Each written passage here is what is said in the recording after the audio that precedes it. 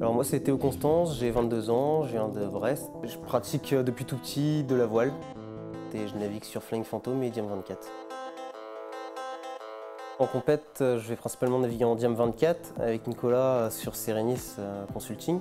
Et on navigue aussi en Flying Phantom avec Nico sur d'autres épreuves. En fait, on navigue en équipe, mais on a chacun nos besoins spécifiques euh, physiquement. Donc sur la prépa physique, on se débrouille chacun de notre côté.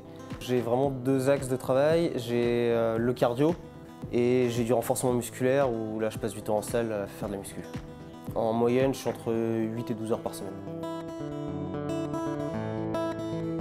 J'ai commencé la compète parce que j'avais l'envie de progresser dans mon sport et comme mes parents faisaient déjà de la compète avant, euh, c'est venu naturellement je pense.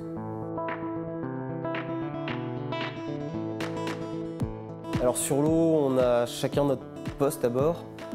Euh, Nicolas va barrer, moi je vais régler les voiles et faire la tactique. Moi ce qui me plaît vraiment c'est les sensations euh, qu'on peut avoir, les sensations de glisse, les sensations de vitesse, et puis le fait d'être tranquille, d'être seul sur l'eau, euh, ou au moins d'être déconnecté de tout le reste.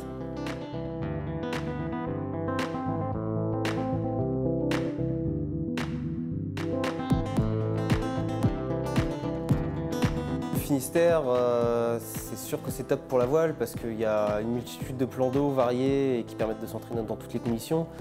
Et c'est quand même assez souvent vanté et ouais, on est vraiment sur un des meilleurs endroits pour pratiquer la voile au monde.